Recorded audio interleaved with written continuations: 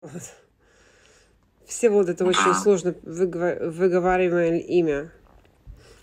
Но я нашла версию Всеволод на английском языке. То есть э, у моего сына есть имя деда, то есть прадеда, только он не звучит как Всеволод. Вообще все имена. Ам, все имена, они как-то, знаете, переходят, переливаются в разные другие имена, но они по-прежнему то же самое имя. Я так была удивлена. Ну, например, мое имя Виктория, да, например, Тори. Оказывается, Тори тоже Виктория. Тут очень много женщин, которые зовут Виктория, но они а, идут на уменьшительное имя Тори. В России же никто не уменьшает имя Тори. Ну, у вас карте в паспорте написано Виктория или... Да, в паспорте написано Виктория, в паспорте не пишут Тори, но ее все называют Тори уменьшительным. Ну, например, вы Всеволод, а уменьшительное Сева. Там же не написано Сева в паспорте. А, ну да, да, да. Да, можно Вик звать, тоже уменьшительное Вик. То есть э, столько разных... э, берешь одно имя и вводишь, как это имя звучит в разных странах. Аргентина, не знаю, Бразилия. И ты увидишь там, боже мой. Да. Хорошо, сколько вам лет, Всеволод? А, мне 16. Вы молодой очень. Ну да, хотел кого спросить у вас, вот вы, ну, реально считаете, что мы все в России там как нищие живем? Ну, просто у вас там видео эти там, русские смотрите кофе, русские смотрите виноград и так далее. Ну, Не, ну я недавно сделала ролик как гремячий. Вы же понимаете, то, что я показала вот в своем ролике, в гремячем нет. Вы, вы когда говорите русский, вы, наверное, рав- равняетесь на города крупные, да? А я не ну, равняюсь на вообще, я крупные. живу очень далеко от Москвы, и ну, довольно хороший уровень жизни. Но сколько, э, сколько населения в вашем городе? В Владивостоке около 700 тысяч. Ну так я про 700 тысяч, тысяч тоже не говорю.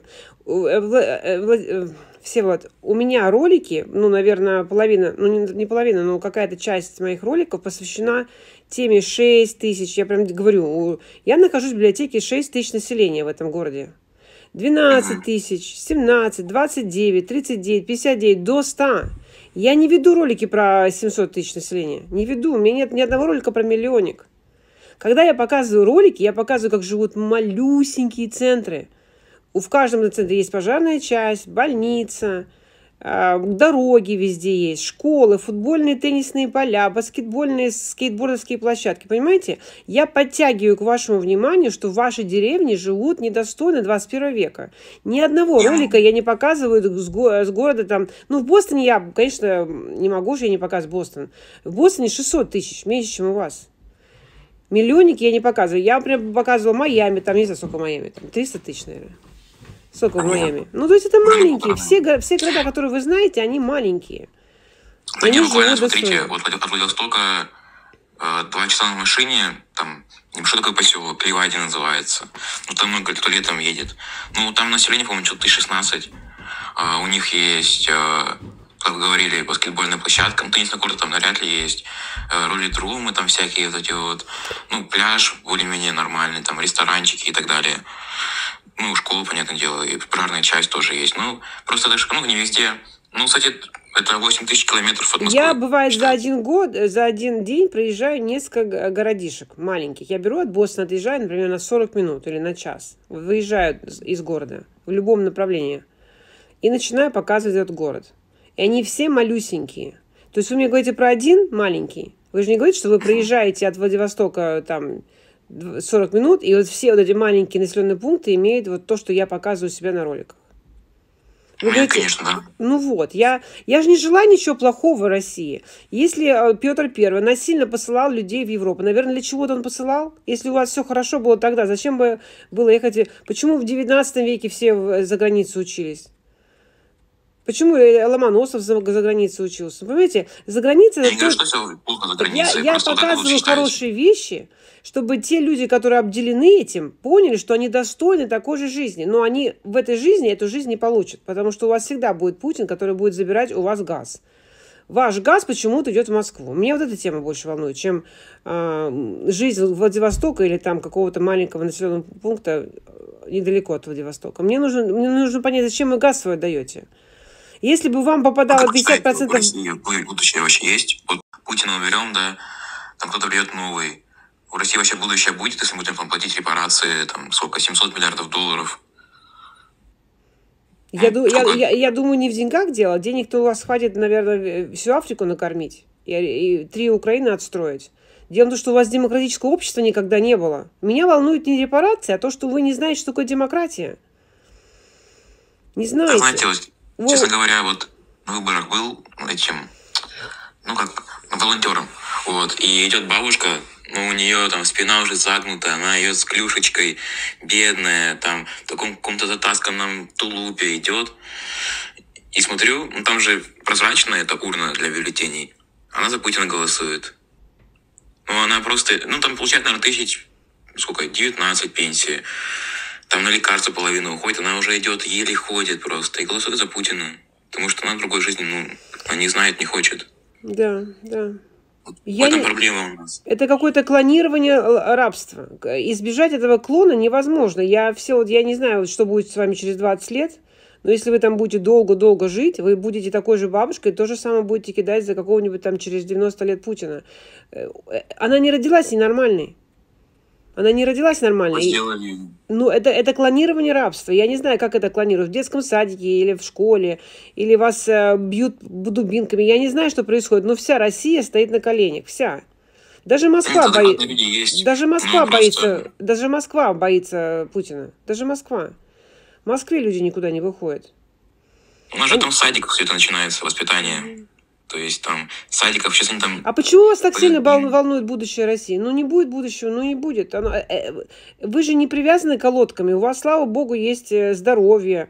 Э, Хотите уехать, уезжайте. Почему вас волнует будущее? Вы реально Ну, я хотите... что живу, все равно это моя страна, моя родина. Это пока вы живете, вы еще несовершеннолетний. Но как только у вас в руках появится паспорт, и, господи, люди уезжают не потому, что они бросают родину, они могут поехать приучиться в Токио, ну, в, в- в университет. А ты можешь учиться, а потом вернуться, как Петр говорил, поезжайте, возвращайтесь. Он возвращал своих умельцев. Они учились у голландцев, там, как строить корабли, они возвращались. Вы тоже не можете поехать и вернуться. Вы просто немножко... думал, Расширьте, расширьте свои горизонты. Я своими роликами не из- уб- убираю из вас родину. Я просто пытаюсь показать, что родину надо менять к лучшему. Больницы надо менять к лучшему. Отношение к человеку. Я ничего же не говорю про отношение к молодежи, к детям. У вас нет такого, знаете, уважительного отношения к детям? У меня, ну, есть. Нет. На детей Почему? тыкают. Детям, детям говорят, что, что туда можно встань, посел. Я постоянно помню, что постоянно э, говорят, что what to do.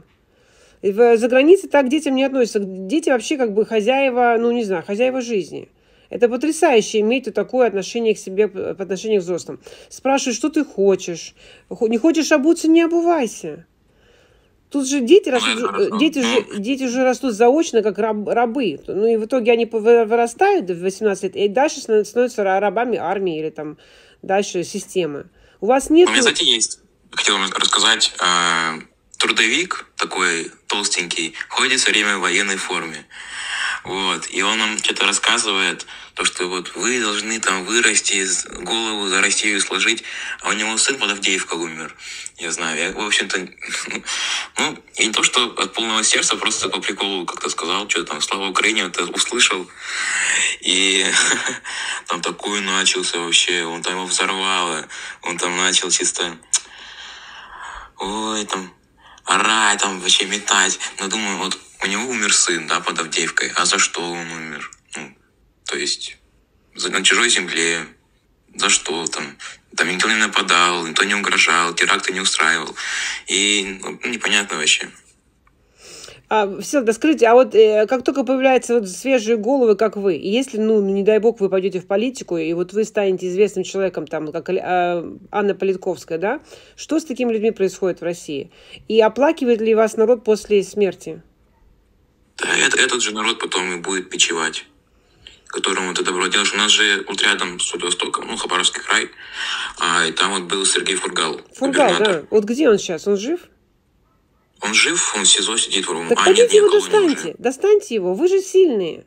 Пойди- Вас много, вы можете пойти, ну, устроить там бунт, устройте там Крокус-Сити, вот и все. Убейте всех, кто... Хабаровск, Хабаровск за него выходил. Их Так не всех- надо, э, человек сидит за вас. Ему больно, у него в жопе что-нибудь там постоянно воткнуто, бутылка или что-то больше. Что вам лень туда пойти с вашей массой? Миллионы сидят, и вы, вы